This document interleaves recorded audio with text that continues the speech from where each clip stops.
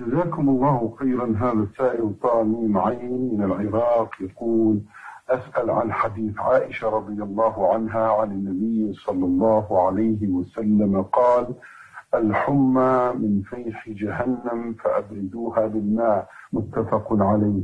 ما معنى هذا الحديث؟ نعم يعني أن, أن, أن الحرارة التي تكون على جلد الإنسان بسبب المرض أنها نوع من من حرارة النار نوع من حرارة النار. والنار تطفأ بالماء كذلك تطفأ الحرارة بالماء. فيرش على المريض الذي يجد حرارة في جسمه يرش عليه من الماء أو يستحم بالماء أو يوضع عليه شيء بارد. هذا من العلاج. هذا من العلاج للحمى. نعم.